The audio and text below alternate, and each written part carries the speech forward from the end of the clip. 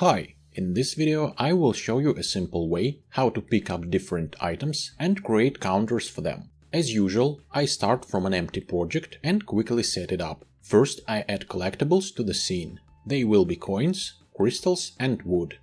There we go. All of these game objects need colliders to detect collisions with player. I select all of them and add box collider 2D. Set it as a trigger. Also, these collectibles are needed to be identified when player touches them. It can be done with tags, but this time I use scripts for that purpose. So each type of collectibles will have its own script attached. Here is a coin script for example. It's just an empty script which will tell the player that it is a coin. Crystal and wood scripts are empty as well. So I drag and drop coin script to coins, crystal script to crystals and wood script to wood. In real project, prefabs of these collectibles should be created of course. Ok, now I create simple UI counters. I create new UI text, here it is, and rename it as coin counter. Anchor it at top left corner of the canvas holding Alt plus Shift keys. Duplicate it twice pressing Ctrl plus D keys and rename these new objects as crystal counter and wood counter. Crystal counter goes here, wood counter goes here. Text field will be modified with the script later, but I give these folders some values to make it look nice. Ok. Now I select these counters and set text color to white. Now let me show you a useful canvas option.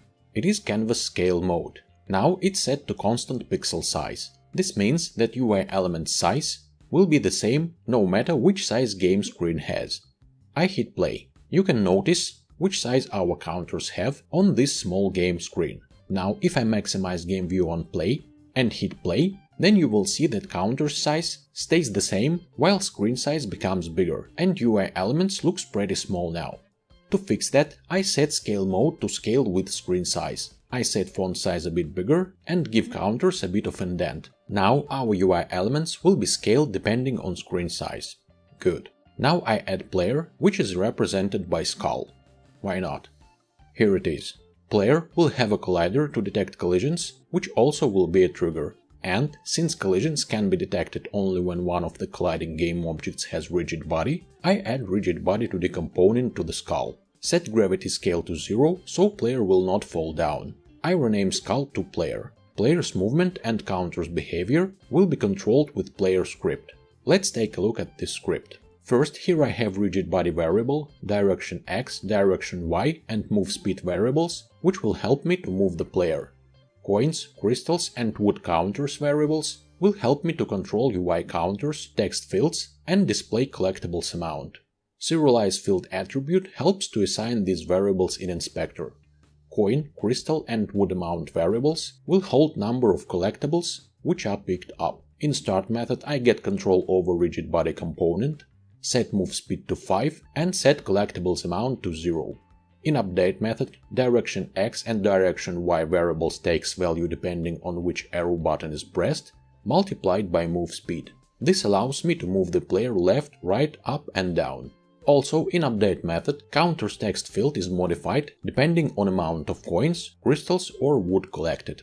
In fixed update method, player is moved by modifying rigid body speed depending on direction x and direction y values. On trigger enter 2D method is invoked when player collides with collectibles. So, if this collectible has coin script attached, then coin amount is increased by 1 and coin is destroyed. If player collides with crystal, then crystal amount is increased by 1 and crystal is destroyed. Same for wood. That's the script. Drag and drop this script to player. Select player and drag and drop counters into corresponding slots of player script component. Coin counter goes to coin counter, crystal counter to crystal, and wood to wood. That's it. Now I can hit play and see how it works. Player moves when arrow key pressed, collectibles are collected, counters count. Hope you liked this tutorial, thank you for watching and see you next time.